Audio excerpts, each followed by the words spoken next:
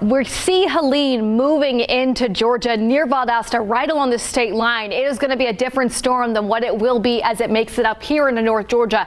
And what this graphic shows you is the wind field of the storm. This is an incredibly large storm.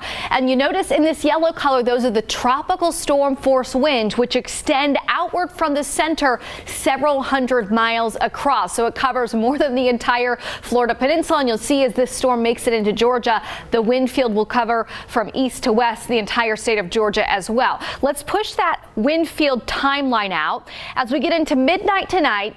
Helene's moving inland, and at that point, the core of the winds are over Valdosta. But meanwhile, up in North Georgia, we're just starting to see those tropical storm force gusts arriving. So as Chris and I have been showing you all evening, the timeline for us to see those strongest winds don't move in until after midnight tonight, really after 2, 3 in the morning. It's going to be those peak of the wind gusts.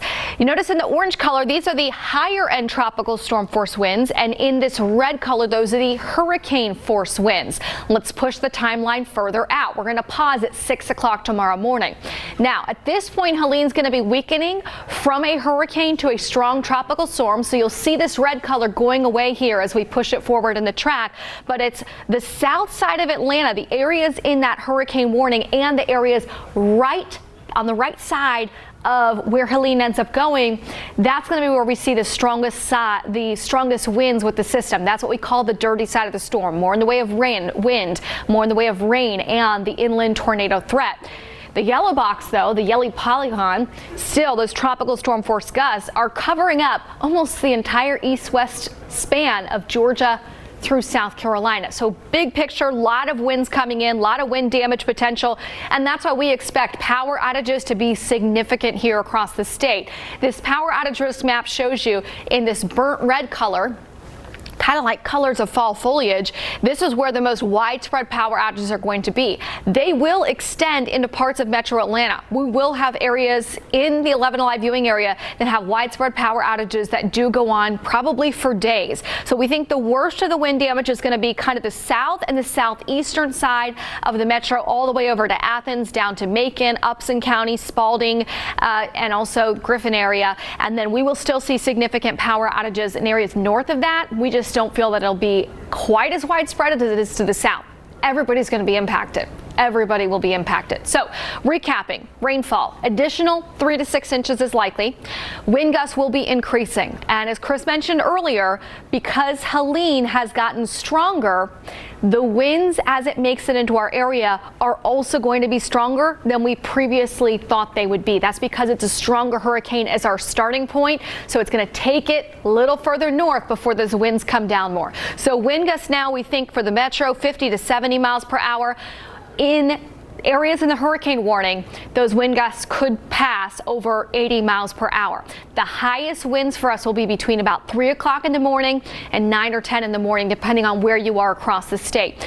Tornado risk, we'll also watch that overnight. That's going to be especially east of our area. I think it's a bigger threat for Augusta, Macon, Savannah area, Statesboro, but that's also something we'll be watching as the center of Helene moves through. Now I want to talk about these winds a little bit more in detail.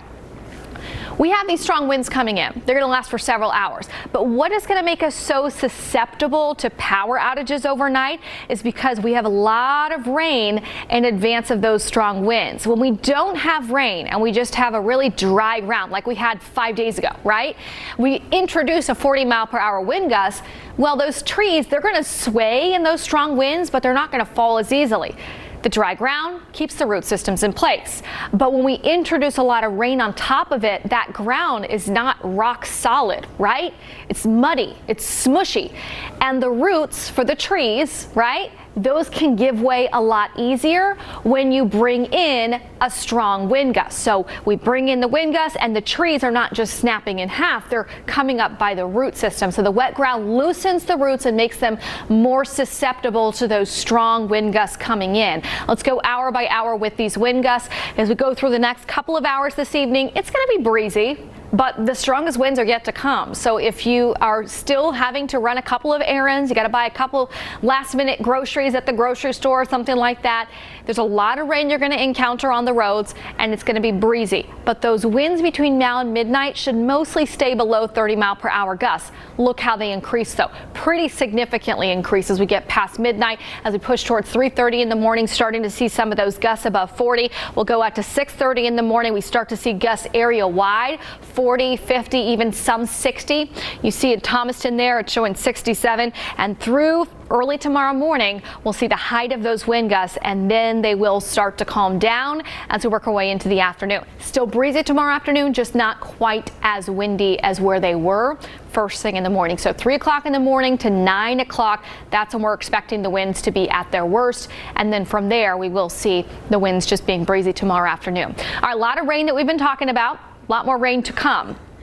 It's been this steady kind of, I keep calling it conveyor belt because it really is. You go to the grocery store, you put your, you know, your items on the, the belt and it goes down the line. Well, this is rain and we've put it on the conveyor belt and it's all going across the same path, south to north. So rain keeps pushing into North Georgia. There are pockets where the rain is heavier than others, but everybody's getting the rain. In particular, right now, there's a flash flood warning where we're also seeing heavy rain coming down right along Georgia 400, Roswell, Alpharetta, down to Doraville and down into Norcross area as well. We're seeing some locally heavy rain also on the southeastern side of town. This is really the same areas that we've been watching over the last hour get the heavy rainfall. McDonough, heavy rain there.